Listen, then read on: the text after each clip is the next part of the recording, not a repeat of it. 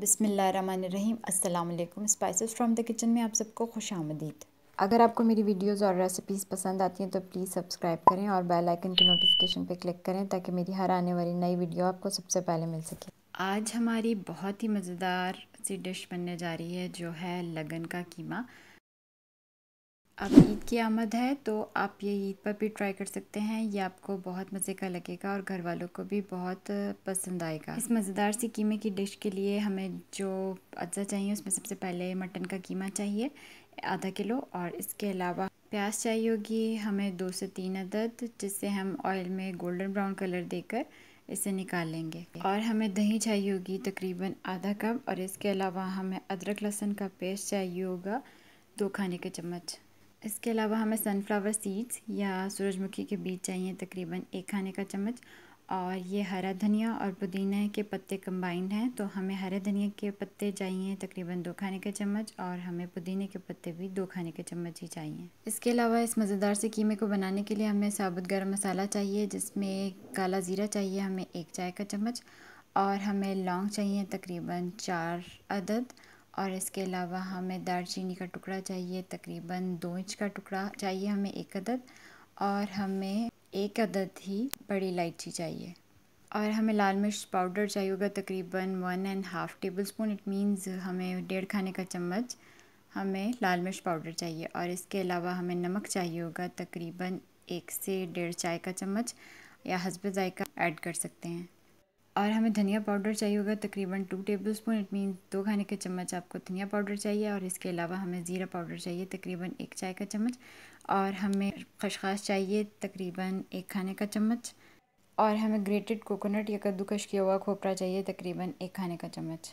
और हमें एक तो दरमियान साइज़ के कोयले की ज़रूरत है, जिसे हम आखिर में दम देते वक्त इस्तेमाल करेंगे. और हमें लेमन जूस चाहिए तकरीबन दो खाने के चम्मच. अब हम तवे या फ्राइंग पैन में तमाम गरम मसाला डालकर इसे भून लेंगे और इसकी खुशबू आने के बाद हमें इसे ठंडा करके इसे ग्राइंड करना है। साबुत गरम मसाला भूनने के बाद हमें इसमें सूरजमुखी के बीज और ग्रेटेड कोकोनट और खशखाश डालकर इसे भूनना है और इसे हल्का सा ब्राउन करेंगे और इसे ठंडा करके भी इसे ग्राइंड करेंगे। अब हम देगची में ऑयल शामिल करके उसमें सबसे पहले लहसन, अदरक डालकर हल्का सा उसे स्टर करेंगे, उसे फ्राई करेंगे। और जैसे ही थोड़ा सा कलर चेंज होगा तो हम इसमें ज़ीरा पाउडर जो कि एक चाय का चम्मच है, वो शामिल कर देंगे। और इसके बाद हम इसमें धनिया पाउडर और इसके अलावा इसमें साबुत काला ज़ीरा और हम इसमें लाल मिर्च पाउडर इन सब मसालों को शामिल करने के बाद हमें इसको अच्छी तरीके से स्टर करना है और हल्का सा पानी शामिल कर देंगे ताकि मसाला नीचे जलने ना लगे। और इसके बाद हमें इसमें कीमा शामिल करना है और कीमा शामिल करके हम इसे अच्छे तरीके से मिक्स करेंगे और इसे कवर करके हल्की आँच पर कीमे के गल जाने तक हम इसे पकाएँगे।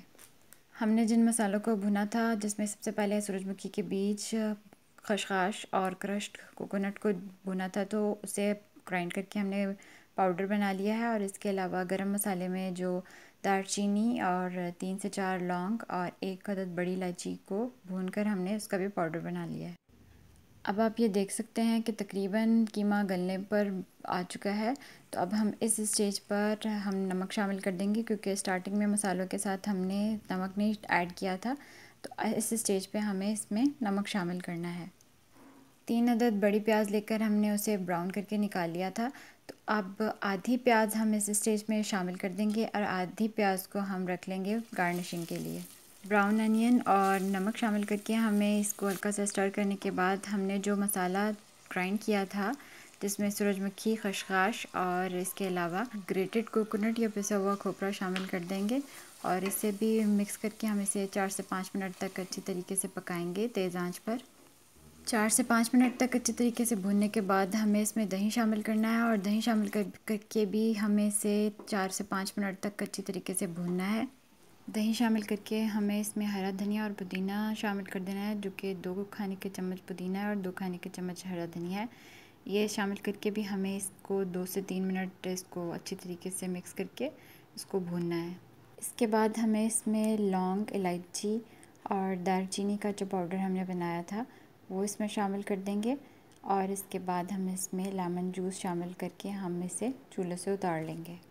अब चूल्हे से उतारने के बाद हमें इसमें कीमे में हल्की सी जगह बनाकर प्याज का छिलका रखेंगे और दहकता हुआ कोयला जो हमने पकने के लिए रख दिया था तो वो इस पर रख देंगे और उस पर हल्का सा ऑयल एक चम्मच डालकर और हम इसे कवर करके रख देंगे ताकि कोयले की भाप इसके अंदर स्टीम शामिल हो जाए और इस कोयले की स्मेल बारबेक्यू जैसी स्मेल इसमें से आने लगे। हम कोयला रख कर इस पर घी या ऑयल शामिल करके तो इसे 10 मिनट तक कवर करके रखेंगे। इस मज़ेदार से कीमे को आप गोल्डन ब्राउन अनियंस और इसके अलावा पुदीने के पत्तों से गार्निश कर सकते हैं और या फिर आप इसे प्याज के लच्छों से गार्निश कर सकते हैं और टमाटर के स्लाइसेस से गार्निश कर सकते हैं। आप इसे इस तरह से गार्निश करके पेश करें तो आपका ये कीमा बहुत मज़े का लगेगा। आप ये रेसिपी ईद पर फ्राई करें तो ये बहुत ही मज़ेदार होता है और घर वालों को भी बहुत पसंद आएगा। अगर आपको मेरी वीडियोस पसंद आती हैं तो प्लीज़ सब्सक्राइब करें, लाइक करें और कमेंट ज़रूर किया करें। इसके अलावा शेयर करें अपने फ्रेंड्स और फैमिलीज़ के साथ। और मुझे अपनी दुआ में ज़रूर याद रखें। अल्लाह हाफ़